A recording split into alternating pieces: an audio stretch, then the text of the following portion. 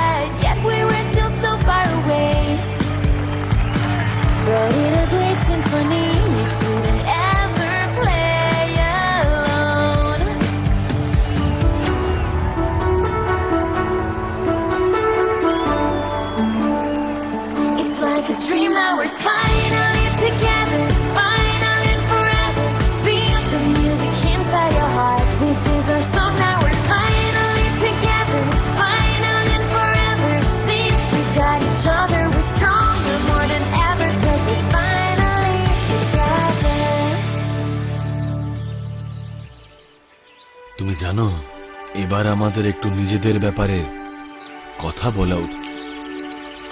কাল বলব। あ？うん。